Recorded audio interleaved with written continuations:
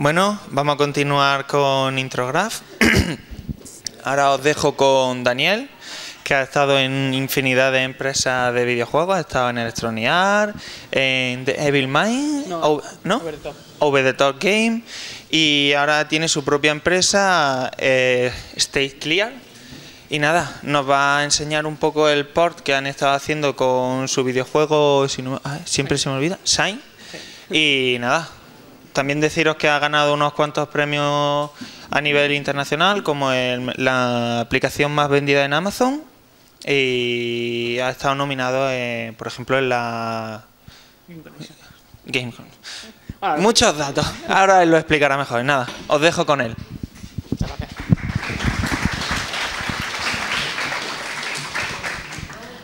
Muchas gracias por la presentación y por todo.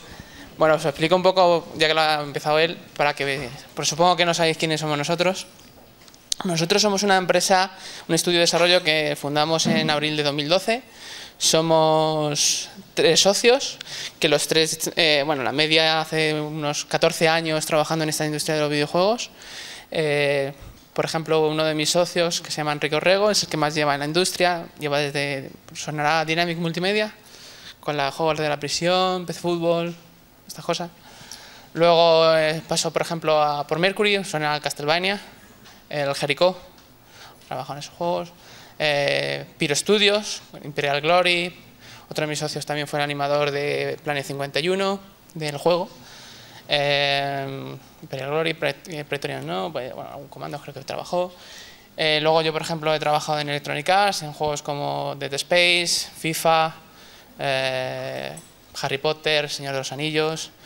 Y luego los tres coincidimos en un estudio aquí pequeñito, que también de Madrid, que se llama eh, Over the Top Games. De hecho, uno de mis socios fue fundador de Over the Top Games también. Eh, y de allí los tres estuvimos desarrollando, no sé si sonarán eh, Quest, os suena Fancy Pants. Eh, bueno, juegos de en principio fueron para, para todas eran consolas, Wii U, PS3, 360. Y luego los tres, después de trabajar varios años juntos, decidimos fundar la- nuestra empresa que se llama Stage Clear Studios. Y nosotros, bueno, decidimos hacer este juego, Shiny the Farfly, y lo hicimos en, en Unity, por, por productividad, porque solo somos, solo éramos tres, eh, dos artistas, mis dos socios son artistas, yo programación, y bueno, cuando son las tres personas, lo que tienes que hacer es ser productivo y, y bueno, con la experiencia ya sabes que no te puedes complicar y sobre todo no reinventar la rueda. Y bueno, empezamos eh, con el proyecto para, para tablets, para iOS, para ser exactos, porque bueno, es la más forma más sencilla de, para que tres personas comiencen a, hacer un, un proyecto de cero, porque sobre todo no es solo hacer un juego, también es montar una empresa, tirar para adelante la empresa, que también te lleva, te lleva tiempo. Entonces, bueno, empezamos con, con iOS, nos lanzamos el año pasado, en abril, ya llevo un año en mercado móvil, y de iOS, que solo empezó en iOS, ahora mismo estamos, vamos a lanzar en, consolas ya, vamos a salir ahora en un mes o así en, en Wii U, hemos salido la semana pasada en Steam, eh, y eso, bueno, pues requiere unos pasos, no es simplemente hacer un porting y ya está, de, bueno, compilo para Android o compilo para Steam y, y lo dejo. Requiere de unos, de unas, unos cambios bastante eh, tediosos en alguna forma. Gracias a Unity se simplifica mucho, porque por ejemplo, cuando estaba en Electronic Arts o en, o en el Over the, Top, Over the Top Games, que sobre todo teníamos nuestro propio motor, ahí sí que era un horror porque tienes que rehacer muchas cosas para, para PS3, no vale lo mismo 360 que en PS3, tienes que hacer muchísimas, muchísimas cosas. De hecho, en Over the Top Games había una persona solo específica para, para aportar, porque si no es, es muy difícil. Entonces, bueno, mi charla va orientada en eso, en, en el paso de, de- cuando lanzamos el juego, empezó en iOS, luego dimos el paso a Android, casi inmediatamente, eh, luego dimos el paso a otras tiendas como son Amazon, la tienda de Samsung, eh, luego la tienda de, eh, de- Windows eh, 8 para tablets, luego dimos muchísimas más tiendas. Luego ya, ya este año hemos dado el salto más grande a, a Steam y, como os he dicho, a, a consolas. El juego, como bueno, yo voy a aprovecharme de la, de la charla que ha dado Diego, que está muy interesante, porque muchas de las cosas que, que él ha explicado es lo que nos pasa en los portings, sobre todo de iOS a Android, porque en iOS, bueno, tú tienes el iPhone y el iPad, punto.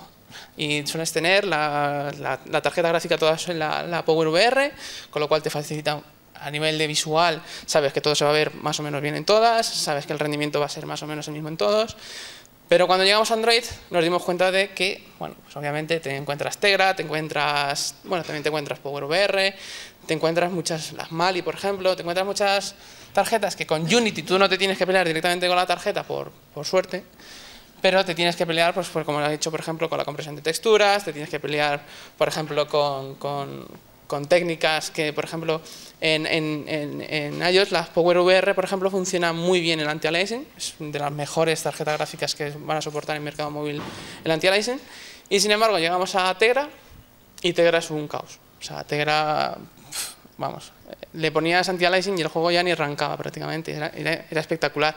Solo con desactivar el anti-aliasing en Tegra, el juego podía funcionar a unos veintitantos frames por segundo. Solo, o sea, es una diferencia brutal. Luego está también el tema de la compresión, el tema de la RAM, es, muy importante. De eso también tuvimos problemas en, en, iOS. Por ejemplo, en el iPad 1 teníamos un problema enorme de que el juego cada 2x3, eh, bueno, el sistema operativo de, de, iOS lo que hace es que cuando detecta que te estás consumiendo mucha memoria, te da un aviso, si sigues consumiendo, te cierra directamente. Entonces, claro, eso tú no puedes sacar un juego a la venta que un, una persona jugando se ha gastado el dinero y se te cierra la aplicación. Entonces, lo que tuvimos que hacer fue eh, adaptar muchísimas cosas para poder... Eh, no, no había mucha diferencia entre el límite y lo que hemos conseguido funcionar, pero bueno, por poquitos cambios hicimos que el juego ya no tuviese que, que no creciese en ningún momento. Esas cosas que hicimos, por ejemplo, fue eh, trabajar también con la compresión, como os ha dicho Diego antes, la compresión tiene el problema de que te va a cambiar muchísimo el gráfico en muchos, en muchos casos, dependiendo de qué bueno sea el algoritmo de compresión de, cada fabricante, porque Nvidia tiene el suyo, eh, el PowerVR tiene el suyo, y por ejemplo en, lo que hicimos fue eh, comprimir muchísima textura de, de, elementos 3D. Ahora os enseño un vídeo del juego para que veáis cómo es. Porque en 3D se disimula más es mucho más fácil disimular que, por ejemplo, la interfaz, como explicaba él, que la interfaz es lo que, el HUD, vamos, que es lo que tienes delante. Claro, si tú tienes una imagen, sobre todo en, en, resoluciones grandes, que te va a aparecer más grande y encima la tienes comprimida, comprimida suele ocurrir que te va, te va a salir mucho cuadradito, lo vais a ver muy, muy cuadriculado, porque pierde calidad, obviamente, toda compresión pierde calidad. Eso se nota muchísimo, además queda muy feo. Entonces, ahí no podíamos comprimir, sin embargo decidimos comprimir pues, sobre todo partículas, todo ese tipo de elementos que, bueno, si alguien juega con un iPad 1 lo sentíamos mucho, pero preferíamos que jugase a que lo viese bonito. Si lo quieres bonito, te compras un iPad 2 o para arriba. Y, y bueno, pues hicimos el tema de la compresión, también tuvimos todos los problemas que ha contado Diego de los aspect ratio, de las resoluciones. Nosotros hicimos una decisión, como se suele decir, salomónica. En vez de tener, al principio teníamos dos, dos sets de gráficos, uno para resoluciones bajas y otro para HD, que llamábamos. Pero eso hacía que, como decía él, que el ejecutable se fuese de madre. Ya nuestro juego, si no me equivoco, está ahora mismo en los 200, 300 megas, si no me equivoco. Con lo cual nosotros lo de los 50 megas y eso no lo pasamos por el forro. Y, la cosa es que, eh, bueno, pues para que no ocupase todavía más, porque si no ya sabíamos que había mucha gente que no...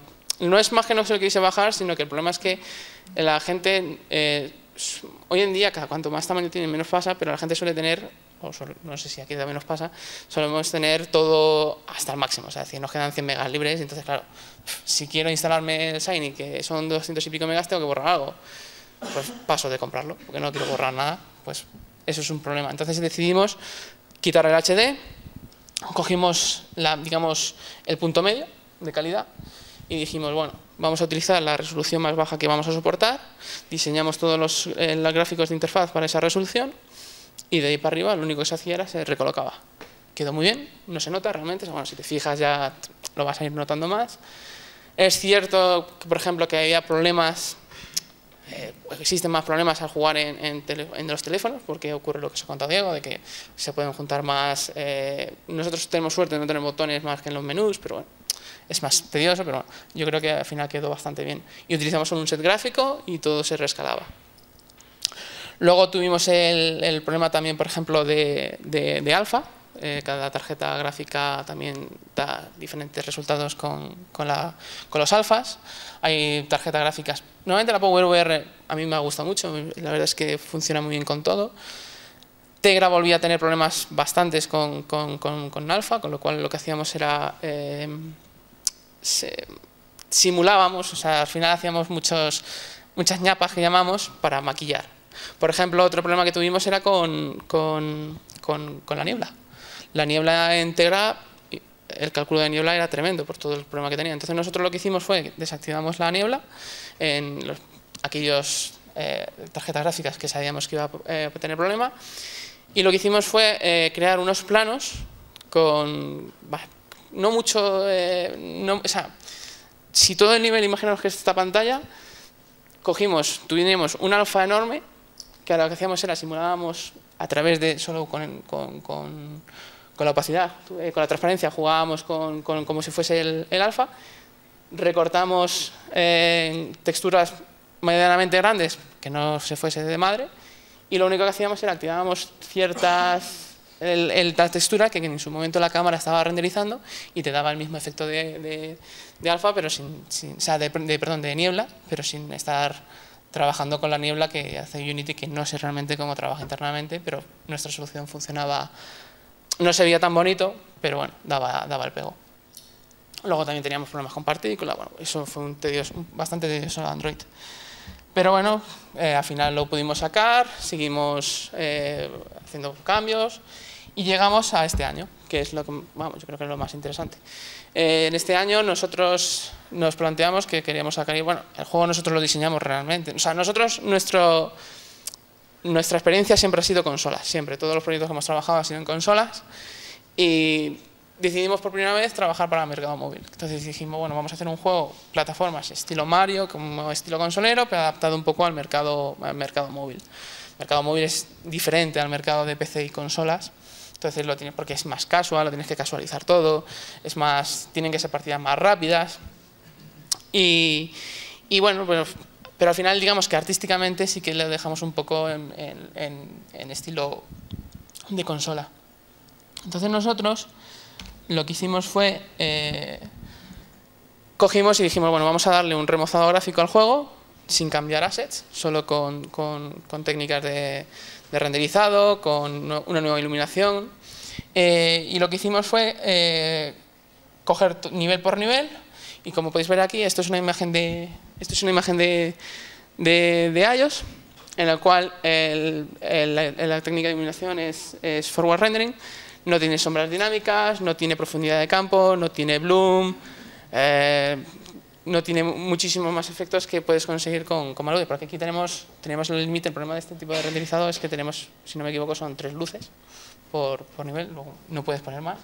Con lo cual, si os fijáis, bueno, aquí se ve un poco plano, pero bueno, si os lo comparo con la versión de Steam, aquí se ve súper oscuro, vaya pena, pero bueno, se ve, bueno, aquí se, ve, aquí se ve, si lo veis en PC, si lo luego si queréis verlo os dejo la presentación, la escalopendra hace sombra dinámica, porque se hace, aquí hay un porrón de luces, eh, luces ambientales, luces... Eh, eh, por ejemplo, Shiny tiene su propia luz, cada cría tiene su propia luz, o sea, todo eso afecta a dar ambiente. También tiene niebla, tiene, tiene bueno, le aplicamos eh, profundidad de campo, que aquí no lo vais a ver, tiene bloom, que tampoco lo vais a ver, tiene anti-aliasing por, por, proceso y, todo esto da un efecto, que si no lo podéis ver es un poco...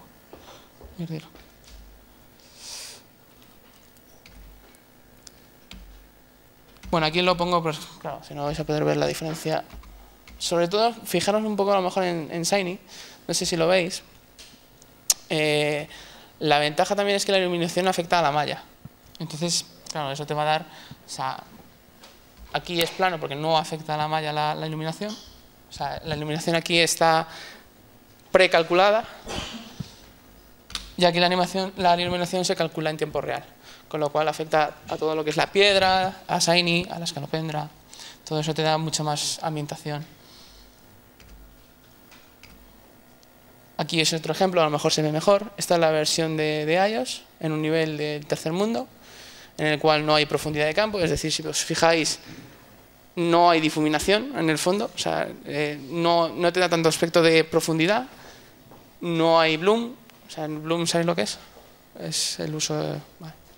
Eh, no hay tampoco anti-aliasing en esta imagen. Sin embargo, en la versión de Steam, que consola, que es la misma, no sé si os fijáis que gana muchísima profundidad, gana eh, sobre todo el, desenfoque, que es la profundidad de campo, que te da muchísima más sensación de profundidad. Esta imagen tampoco es que tenga mucho bloom, pero bueno. Y el problema también es, eh, bueno, Shiny no se ve aquí, luego os enseño un vídeo y vais a ver lo que os digo.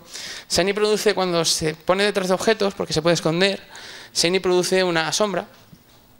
Eh, esa sombra eh, lo hicimos con un, nos programamos nosotros un, shader que lo que hace es, bueno, tú cuando ya tenéis, es que claro, yo no sé aquí si, supongo que sois gráfico, entonces sabréis lo que os digo.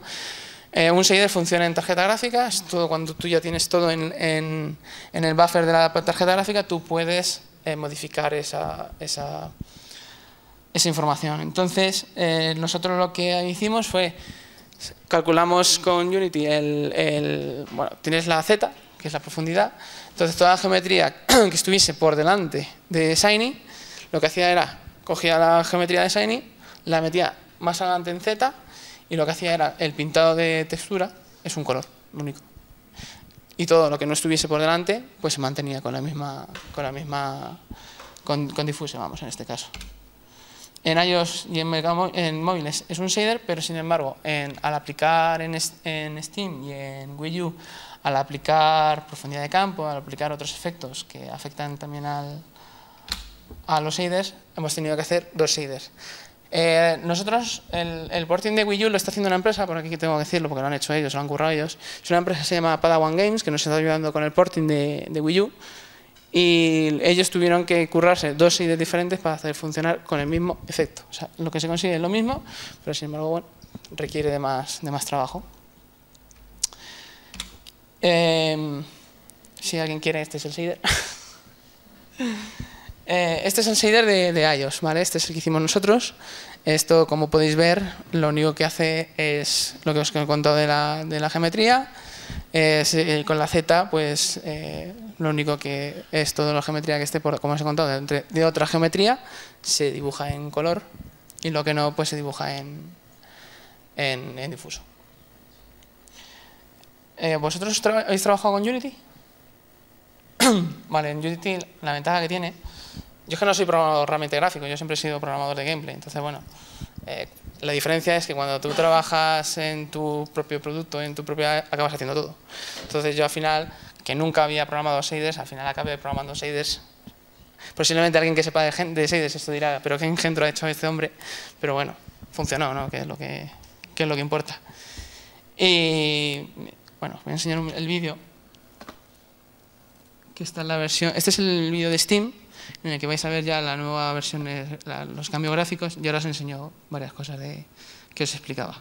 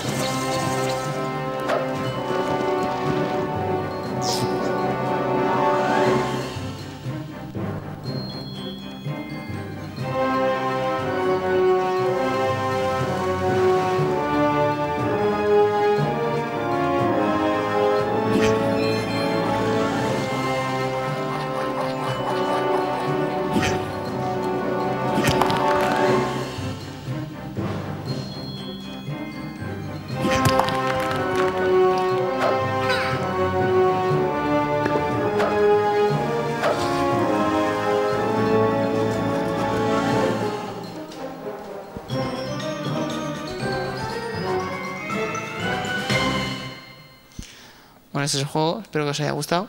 ¿Lo conocéis alguno? Vale, solo, veo uno que lo conoce. Bueno, eh, aquí como podéis ver, mirad, os enseño, a ver si lo encuentro, lo que os explicaba aquí. ¿Veis el, veis el, bueno, Shiny es el bicho ese azul, eh, ¿Veis cuando estaba detrás de la, de la, flor que se ve una parte gris y se ve otra parte sin... Eso es el shader que os he enseñado antes. Eso es lo que hace. O sea, por ejemplo, hay varias formas de hacerlo. Una forma eh, por ejemplo, tradicional que se utilizaba antes, es muy tosca, por ejemplo, como se hacían antes las sombras, es tú te coges la malla, la duplicas, la pones todo en negro, la, la chatas y la pones por delante. Eso hubiese sido una técnica, pero que es más chusquera. Aquí la ventaja con un shader es que nos permite solo eh, hacer sombras de lo que realmente está oculto, porque si no te saldría, sería muy raro. Y luego, por ejemplo, podéis ver, aquí se nota bastante bien la profundidad de campo, se nota, por ejemplo, la iluminación en, el borde. Eh, ¿Qué más se nota? Bueno, se notan muchísimas... Es que, claro, si no podéis ver la imagen de antes, que eso es un fastidio. No sé si se ve aquí mejor. No, no se. Bueno, sí, podéis ver aquí también la profundidad, eh, la profundidad de campo. Podéis ver, por ejemplo, esto también es algo que ha contado Diego, la interfaz, el HAT, es eso de ahí arriba, que es lo de las vidas, las semillas y las crías. Esto eh, también afecta en el porting. Por ejemplo, eh, realmente en iOS y en Android no tienes un control. Bueno, de hecho tú en Android subes el juego y no te lo controla nadie. O sea, puedes haber hecho una mierda que nadie te la te la va a tirar. En iOS es un poco más, poco más. Yo creo que solo por aparentar, pero tienes que aprobar. Pero sin embargo, cuando llegas a consolas ya el tema es muy diferente.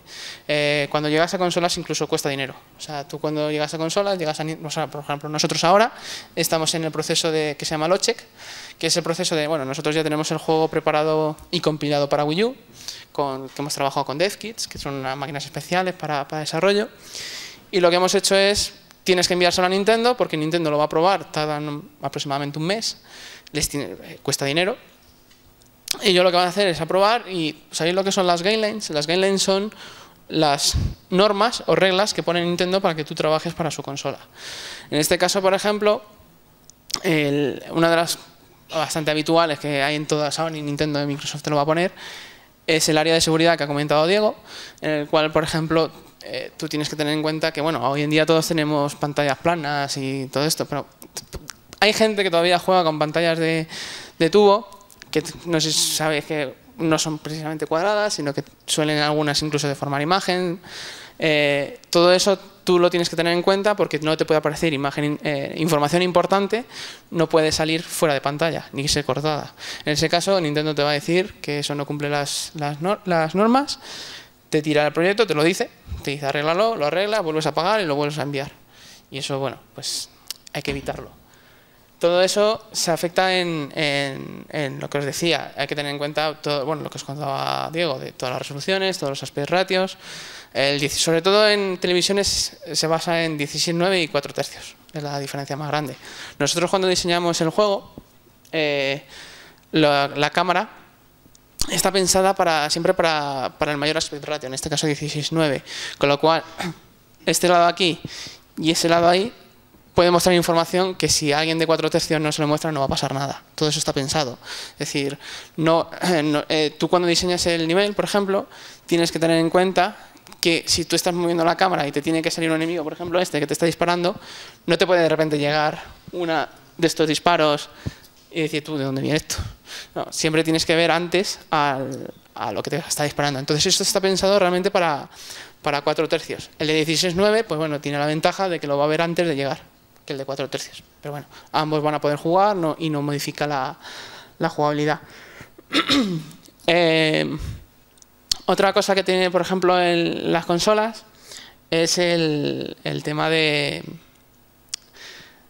de, de los... Eh, bueno, luego lo pongo está en la presentación de los, de los cambios o, o, o requisitos específicos de, de, cada consola. Pues por ejemplo, eh, Nintendo te obliga, nosotros en la Wii U tenemos, usamos el mando y la tele, con lo cual tienes que indicar todo lo que sea del mando por un lado. O sea, tienes dos, ya, ya tienes dos cosas que renderizar. Tienes que tener en cuenta el mando, que la ventaja es que solo es una pantalla de momento. En un futuro posiblemente hagan otra pantalla y ya tendrás que soportar las dos resoluciones, los dos aspect ratios. Y la televisión, y la cosa es que nuestro es todavía más complicado.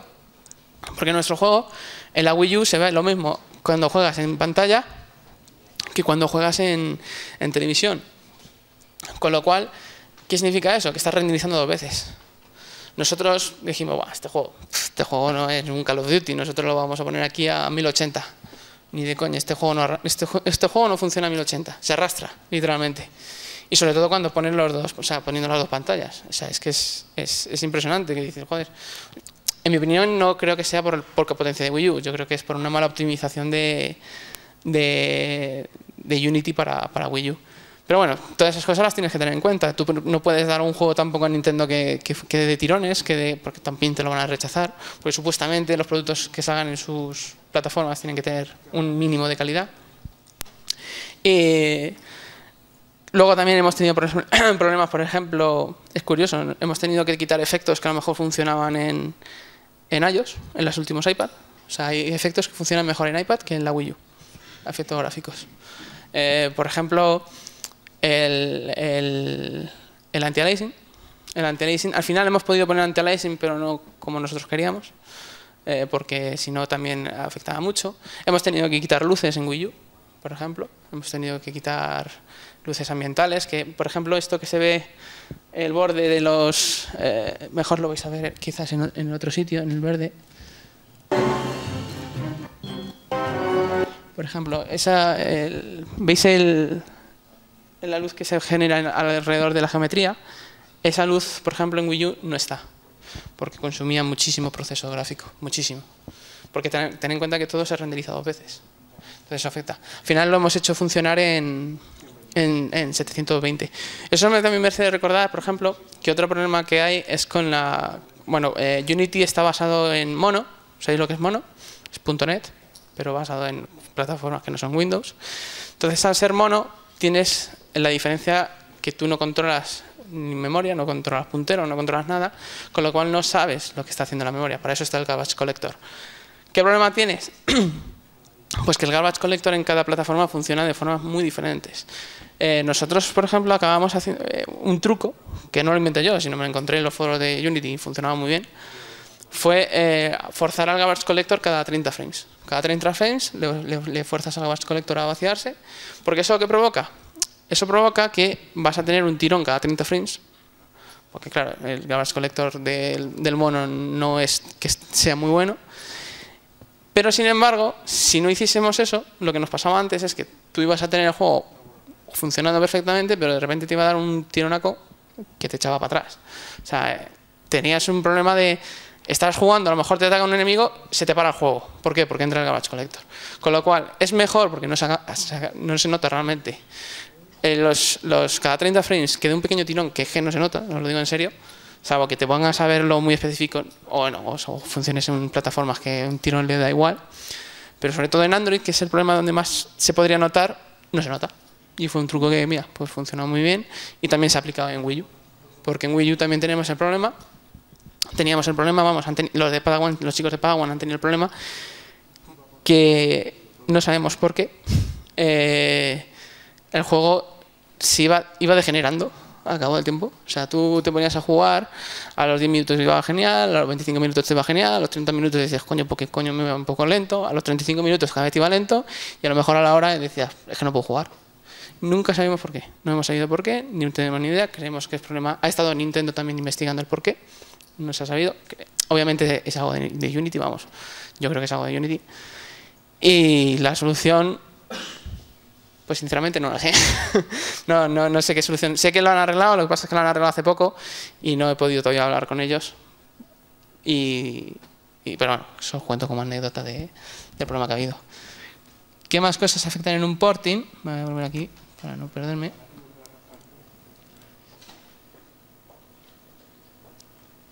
Bueno, lo que os contaba también, por ejemplo, otras mejoras, porque cuando tú haces un porting, también tienes el problema de que, bueno, de hecho, eh, suele ocurrir, si tú empiezas un mercado móvil y te vas a, como hemos ido nosotros, te vas a PC o a Steam, si tú haces un porting literal, la gente te va a criticar de que es un juego de móvil, que vaya mierda, que etcétera, etcétera, etcétera. Y nosotros incluso, habiendo hecho ese cambio gráfico, que es muy grande, si lo pudieseis ver, eh, a la gente aún así le dice, joder, es que sigue siendo un juego de móvil, coño, tú lo miras, si hubiésemos salido directamente en Steam y luego en móvil, eso la gente, habría gente que no lo, no lo hubiese dicho. Pero, por ejemplo, pues tenemos soporte de, Gamepad, porque no es lo mismo jugar en, en, un móvil que tú tienes que utilizar por fuerza el dedo, eh, a jugarlo en Steam, que la gente normalmente suele, o en consola, obviamente, en Wii U tienes que utilizar el, el Gamepad sí o sí. Eh, eso lo que hace es cambiarte el juego, porque tú cuando lo has diseñado lo has diseñado por una pantalla móvil. Si supieses cómo funciona el gamepad en, realmente en el juego, os sorprendería de la ñapa que es. El, mando en, del controlador de 360 o el de Wii U o lo que sea, lo que hace es simular pulsaciones de dedos. Es curioso, o sea, funciona bien, pero es la forma que teníamos más efectiva de, que funcionase el sistema de búsqueda de caminos de Unity, porque utilizamos búsqueda de caminos de, Unity. Entonces, eh, podíamos haber dedicado más tiempo, cambiarlo todo, pero decidimos, bueno, vamos a probar esto, ha funcionado muy bien, no parece que estés pulsando, es decir, el juego realmente cuando tú te estás moviendo a la derecha en el estilo, lo que está haciendo es, siempre está haciendo una pulsación como si fuese de dedo, pero más adelante y realmente no, no, no, no, vas a notar diferencias, es decir, no, no vas a decir, coño, es que está aquí ñapeado, no, no se nota para nada. ¿Qué más cosas te, te pide? Pues te pide mayor eh, ritmo de juego, por ejemplo, en, en Steam, eh, si tú juegas en Steam o en Wii U y juegas en, en, en móvil, vas a notar una diferencia muy grande de ritmo. ¿Por qué? Eso está hecho a posta. Porque en, eh, cuando tú juegas en una tablet, el problema que tienes es que te estás poniendo todo el rato el dedo enfrente. Entonces te estás tapando lo que está ocurriendo. Si tú le pones el mismo ritmo que tenemos en PC, se lo pones a un jugador de móvil, no, va a no, no ve venir. Es decir, el tiempo que pone la mano delante hasta que la quita, le va a hacer muy frustrante el hecho de que se le va a echar todo encima. ¿Qué pasa? A lo contrario, que si tú llevas eso de móvil a PC, el jugador que esté con un mando se duerme, ¿sabes? Porque está todo el rato el bichito y el bichito va... Entonces, ahí lo que tienes que hacer es aumentar el ritmo, eso cambia, tienes que aumentar la dificultad también. Son todos elementos que parecen que no, pero realmente hacen, son muchísimos. O sea, hacen muchísimo de que un juego sea divertido a que sea un coñazo. Eh, bueno, lo que os he contado de las guidelines. Eh, lo que hemos, hemos contado de bueno, la dificultad, porque los jugadores bueno, en mercado móvil mayoritariamente son casuals. Eh, también, por ejemplo, el tiempo de partida va a afectar. En un, en un móvil, con mucho a lo mejor te dedican 10 minutos por partida, o son muchos ya. Sin embargo, en la gente que está jugando en Steam, de primera vez que utiliza, o sea, desde que arranca el juego por primera vez que lo ha instalado, juega y sale, posiblemente la, normalmente la media que tenemos es que la dedica una hora, aproximadamente. Eso es un problema, claro. Porque el jugador que está una hora, pero no podemos solucionarlo, porque si no habría que cambiar todos los niveles, se da cuenta de que en una hora se ha pasado ya a lo mejor ya un mundo entero. Pero es una diferencia, claro, somos tres, no podemos hacer más. Eso también es, algo que hay que tener en cuenta. Luego, pues bueno, son, hay que adaptar iconos, todos los tipos de iconos de cada mando. Eh, eso también, por ejemplo, ya que os contaba los de las guidelines, las guidelines en, Wii U, es que si tú quieres utilizar un iconito que, represente el mando, no te puedes hacer tú uno cualquiera, tienes que utilizar uno que te va a dar Nintendo específicamente, o Sony o, Microsoft. Eh, e incluso los textos, es decir, eh, tú si quieres explicar que tienes tres idiomas, los idiomas que tengas, y que lo puedes cambiar dentro del juego, no puedes coger tú en el manual y decir, bueno, voy a escribirlo como quiera, no, ellos ya te dan el texto exacto para que, para que tú lo expliques como ellos, como ellos quieren. Otra cosa, por ejemplo, que parece tontería, pero luego la gente se queja mucho, es el texto. O sea, tú cuando haces un juego para una pantalla táctil, el, el término en inglés es tap, pero sin embargo en un PC el tab queda muy raro, porque si no la gente va a empezar a porrear la monitor y dice, coño, no pasa nada. Es clic, obviamente. Luego tenemos, por ejemplo, eh, cada plataforma fuera de mercado móvil te da sus ventajas. Por ejemplo, en, Steam están lo que se llama las trading cards, que para los que tengáis Steam, eh, los cromos. Eh, a mí yo ni lo tenía pensado, sin embargo nuestro publisher ha dicho meter las trading cards que es absurdo, pero la gente funciona, funciona muy bien. El juego está, bueno, eh, bueno, hoy se acaba. Salimos, el juego nuevamente está a 9,99 euros en Steam, teníamos una oferta del 25%, y sin embargo las, las, o sea, la gente ha pagado, a lo mejor paga 9,99, pero sin embargo los cromos a día de ayer se estaban vendiendo por 7 euros. La gente vendía los cromos a 7 euros. Y digo yo, madre mía, la gente va a sacar más dinero con los cromos que lo que saco yo con el juego. Porque claro, vosotros veis 9.99 y dices, coño, este se está forrando. Una leche. Nosotros tenemos dos publishers en Steam. Dos. O sea, si con uno ya decíamos, coño, qué alegría, pues ahora tenemos dos para poder salir en Steam. Porque nosotros no hemos salido por Greenlight. Nosotros hemos salido de la manera tradicional, directamente. Eso es por tener dos, dos publishers, porque uno de ellos nos ha permitido entrar sin, sin Greenlight. ¿Eso qué significa? Significa que si tú tienes de 9,99, Steam se queda un 30%, el otro se queda un 20% y el otro se queda un 40%, calcular lo que se nos queda a nosotros. una mierda. Y eso que está a 9,99. Nosotros el juego en móvil eh, está a 2 euros. A veces ofertas en un euro y si, y si, tú lo pones a un euro y tú empiezas a echar cálculos, nosotros por cada juego vendido nos llevamos céntimos, 20, 30 céntimos. Eso hay que vender un montón. Y nosotros no tenemos presupuesto de marketing como para poder llegar a, a, las masas. Yo a veces me digo, coño, voy a cambiar el nombre al juego, le voy a llamar Call of Shiny, ¿sabes? Porque es que es que es verdad, es que tú le dices a alguien, ¿te has jugado al Cal? Sí, el Cal sí. ¿Te has jugado al Shiny? No, ¿eso qué es? Coño, pues un juego que hemos tardado un año, hemos tenido un presupuesto, si tú echas cálculos de, de cuánto hubiese sido nuestro salario, que ni de coña hemos tenido salario, ni seguimos teniendo, cuánto nos ha costado los costes de, de fundar la empresa, porque claro, eh, no solo es hacer un juego, nosotros tenemos que pagar una, oficina, nos tenemos, tenemos que pagar unas cuotas al Estado, como por ejemplo, bueno, pues como, bueno, yo lo explico, a lo mejor da igual, pero yo lo explico. Por tener un, una empresa, yo tengo que ser, legalmente, yo tengo que ser autónomo. Pero es que encima de pagar mi autónomo, yo tengo que pagar un autónomo especial por encima de tener una empresa, que son unos 300 euros al mes. Más el alquiler, más todo eso, se te acaban yendo unos mil y pico, sin mucho más gastos, unos mil y pico al mes. Claro, eso es un coste que, dices tú, joder, si tengo que pagarme la oficina, tengo que pagarme esto, ¿de dónde saco el dinero para el marketing? De ahí está el publisher. El publisher normalmente tú lo quieres porque él tiene dinero, tú no. Él lo sabe. Entonces, claro, él te dice, bueno, pues tú que eres un jodido pobre, pues eh, te voy a chupar la sangre porque el dinero es todo. Entonces yo te ofrezco ponerte el dinero de marketing, pero a cambio me voy a llevar un porcentaje que, que, que va a ser la leche. Y dices tú, bueno, venga, vale. Y te dicen, no, pero espera, que no he terminado. Y te dicen, es que aparte del porcentaje, yo te voy a deducir todo lo que yo invierta. O sea, esto es la hostia. O sea, tú coges, tú te dedicas un año trabajando en nuestro, bueno, todos esos costes. Nosotros hemos hecho un cálculo, nos han salido más de 200.000 euros para recuperar eso. Y encima después de decir tú, bueno, 200.000 euros, viene este publisher, me va a poner el dinero que no tengo yo de marketing.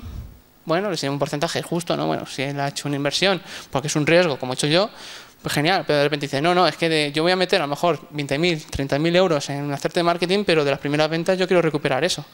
Y, y así, así, ha sido. Hasta que no se ha recuperado el publisher el, el, dinero de marketing, nosotros no hemos visto dinero. Eso es una mierda. No, no, ser publisher la hostia, es decir, no desarrolléis vosotros publicar juegos, que es, se vive mejor. De verdad, es un coste tremendo el, el, el desarrollo.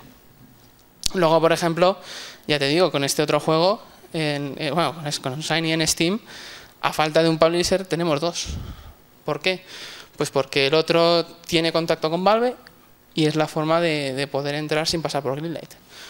Puedes pasar por Greenlight, el problema es que Greenlight, eh, bueno, para los que no sepáis, Greenlight es un proceso que tiene ahora Steam, es que los juegos indies, nosotros somos indies, es decir, tú te lo quisas, tú te lo comes, eh, tienen que pasar por un proceso parecido a, al final acaba siendo como la App Store de iOS, con lo cual para mí es peor, y te tiene que votar la gente para poder salir a la venta. Eso normalmente es un problema, porque te ocurre el mismo problema que la App Store. Tú en la App Store, cuando sales a la venta, estás saliendo a la venta con, no me acuerdo si eran 1.600 juegos el mismo mes. Eso es una burrada. Tienes 1.600 competidores para sobresalir. Es, es imposible. Pues Steam antes estaba muy bien porque Steam era como las consolas, es decir, tenías que tener un mínimo de calidad, tenían que aprobarte, salías y a lo mejor salías con cinco juegos, seis juegos. Joder, que salir un día, con, digo en un mes, con cinco o seis juegos, es mucho más fácil a nivel de marketing eh, hacerte ver. Pero sin embargo, hoy en día con el Greenlight se ha convertido en una App Store en la cual otra vez tienes que competir con muchos y la forma de salir solo es con dinero marketing. Marketing o que tener suerte, que tu juego guste y, la gente empieza a hablar de él. Pero es muy difícil, ya te digo, o te llamas Call of Duty o no vas a, no vas a sobresalir.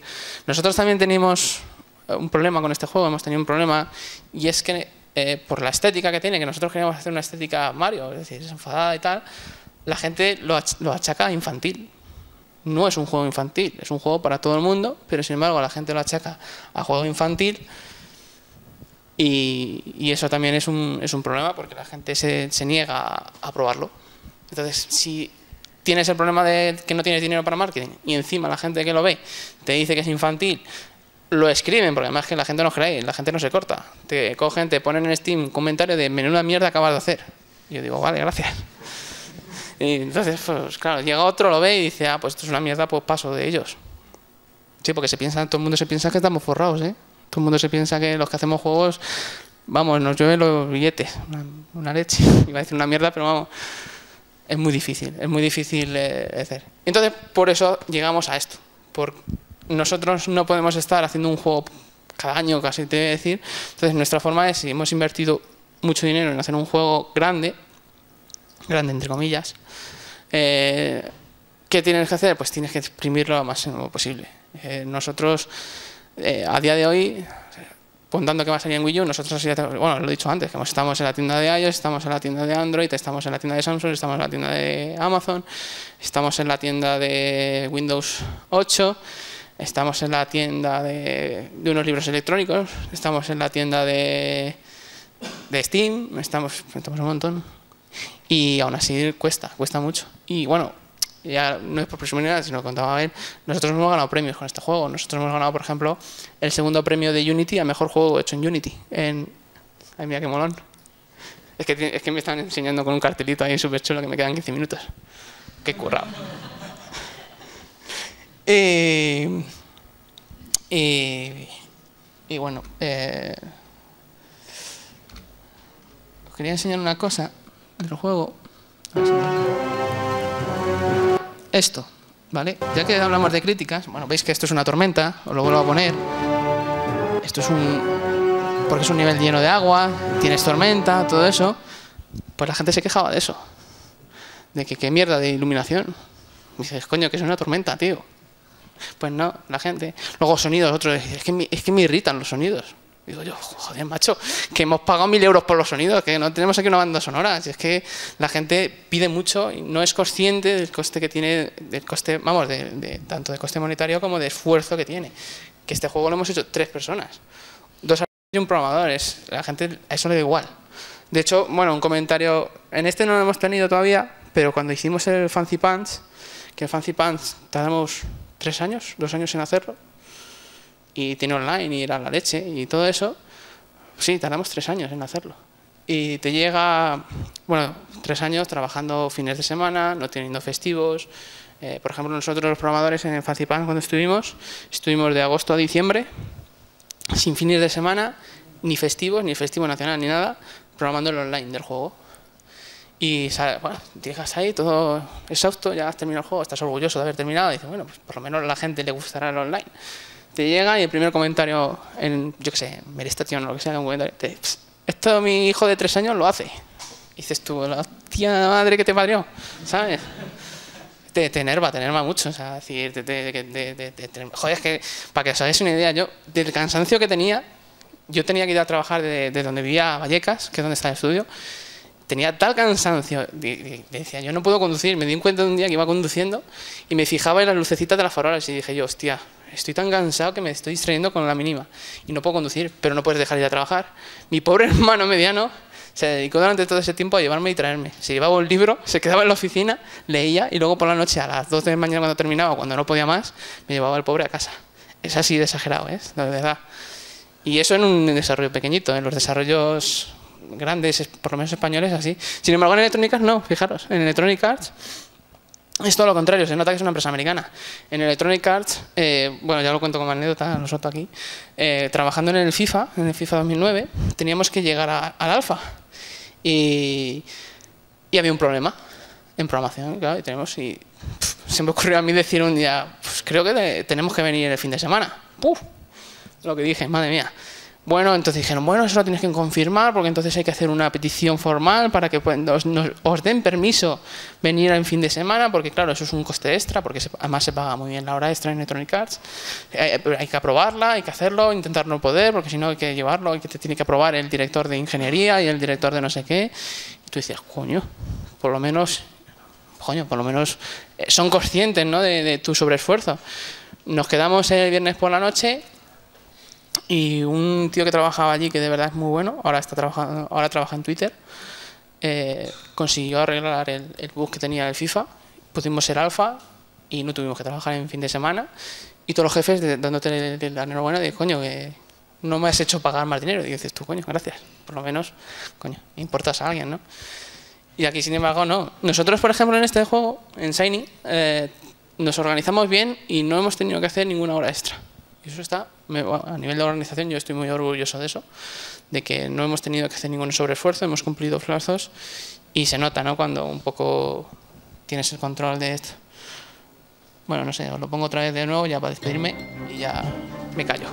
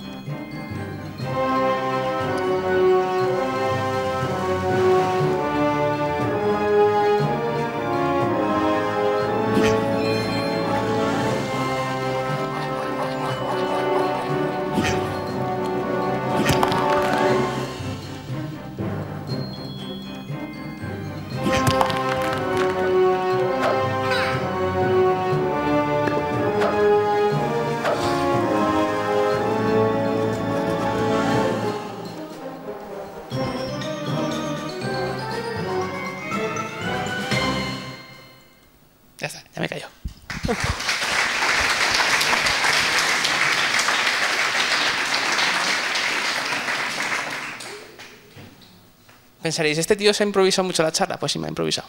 De hecho, la presentación la presenté, la preparé y se la mandé a este pobre hombre ayer a la una y media de la noche. Porque tenido una semana que, de verdad, lo siento mucho si he improvisado mucho. De hecho, mírate, no os he enseñado ni hasta mis gracias aquí. Todo bonito. Qué giro más bonito se hace el. Mira, qué bonito.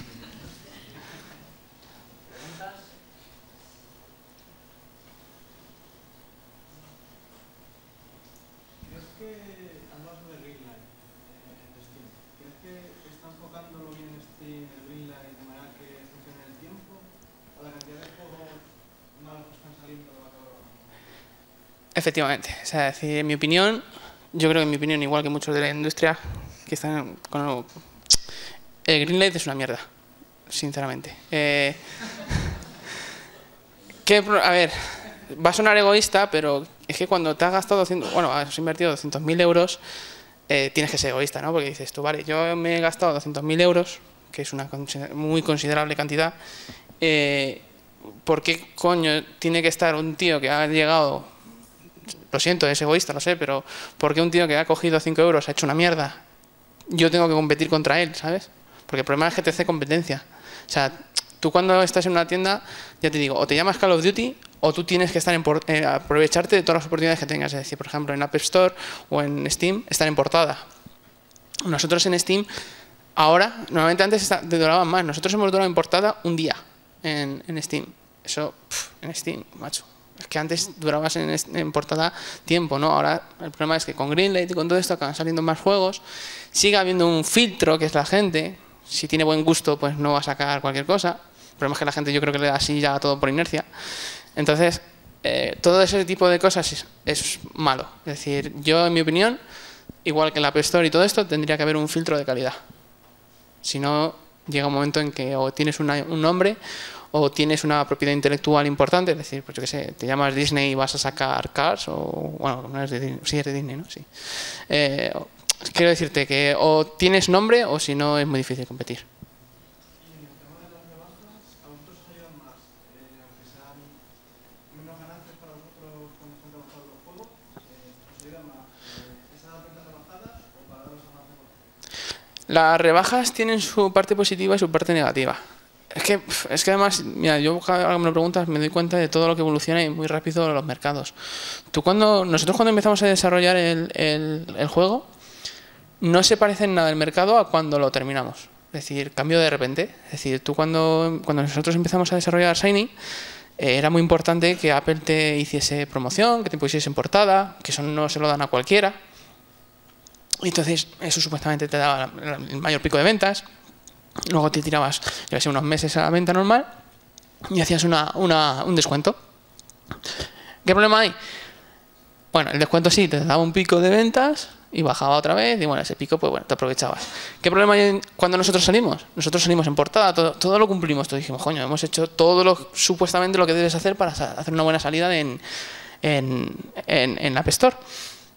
Pero ¿qué pasa? Pues que ya la gente se ha aprendido que ya están de moda las ofertas. Igual pasa en Steam. La gente sabe que al cabo de tres meses, cuatro meses, le van a llegar y van a poner un 80%, 70, 50% de descuento. Entonces, le da igual que te vea en portada, no se lo va a comprar.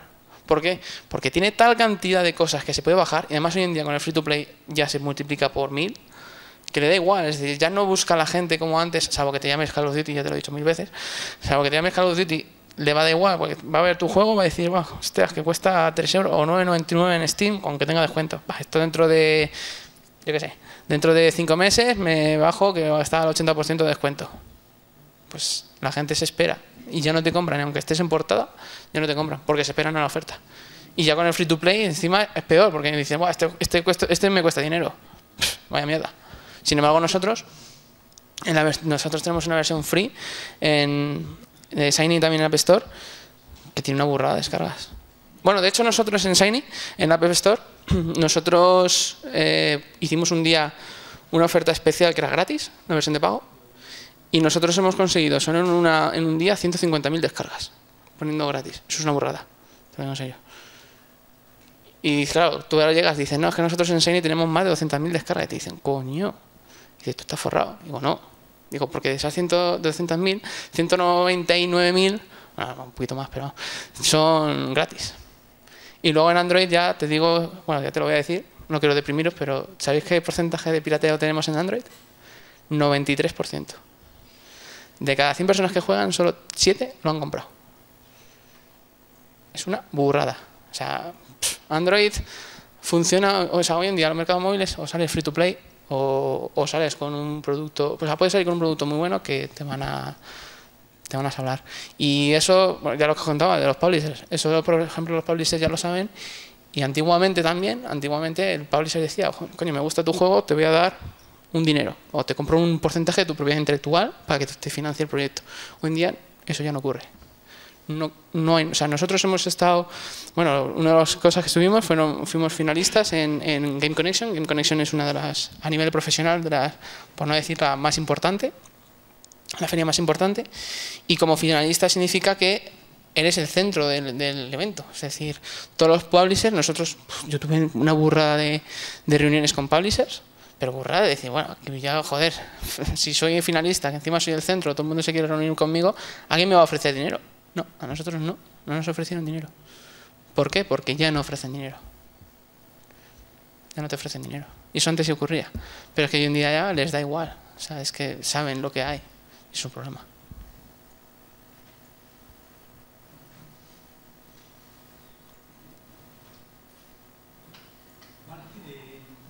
¿Tenéis alguna manera de recoger, eh, aparte de esos comentarios siguientes, la manera que tienen de jugar? O de, yo qué sé, si un 50% de tus usuarios se han quedado atascados en tal pantalla, o si una mecánica ha funcionado muy bien, está gustando mucho, ¿cómo podéis recoger al final cómo juega la gente y cómo, qué partes están eh, nosotros en nuestro caso, en nuestro juego no. O sea, tenemos métricas, son con métricas. O sea, tienes, por ejemplo, hay una herramienta que se llama Flurry, que lo que hace es, eh, lo que hace es registrar en un servidor de forma anónima lo que hace el jugador.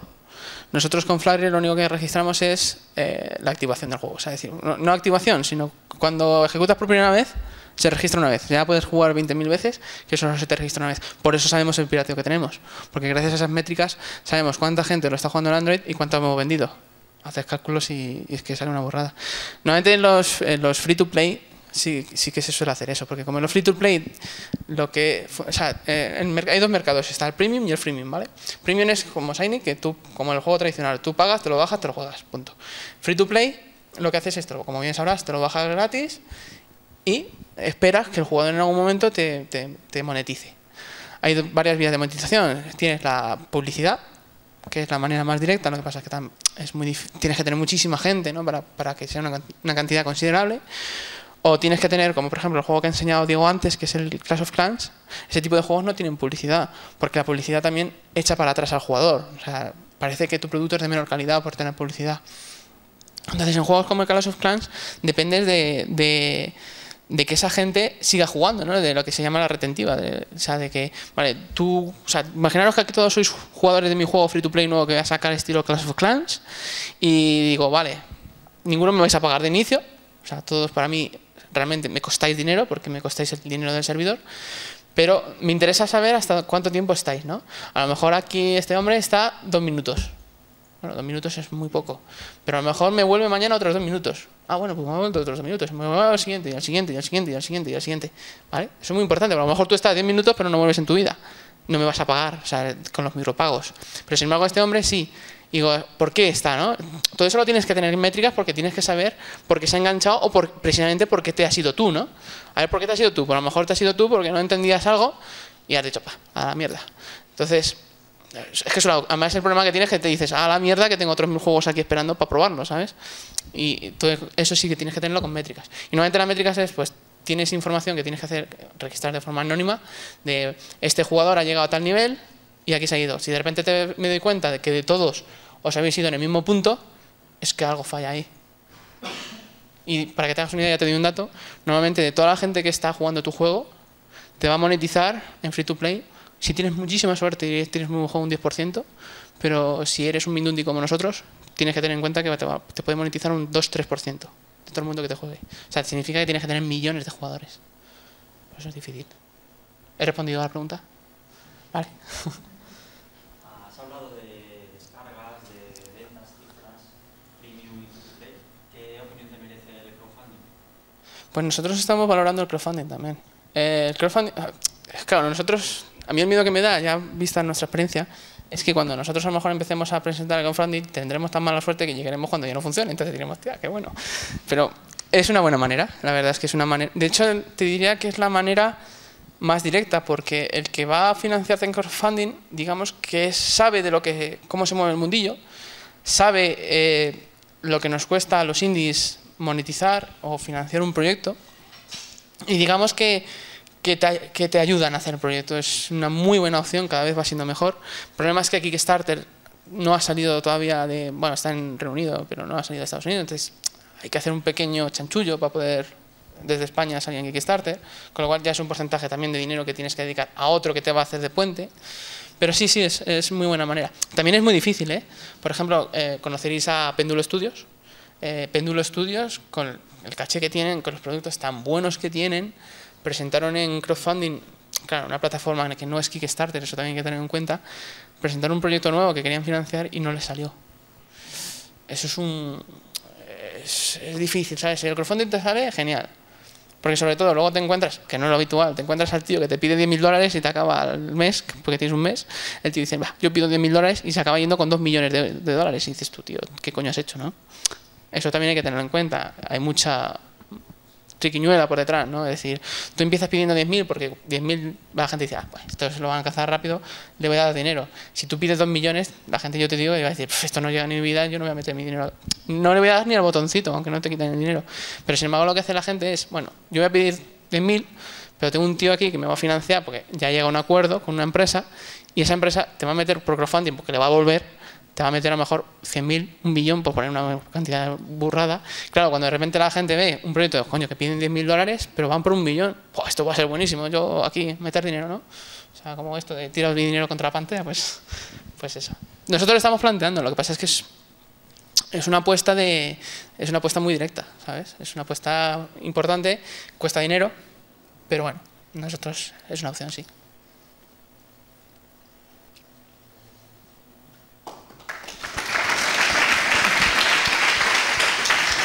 Muchas gracias.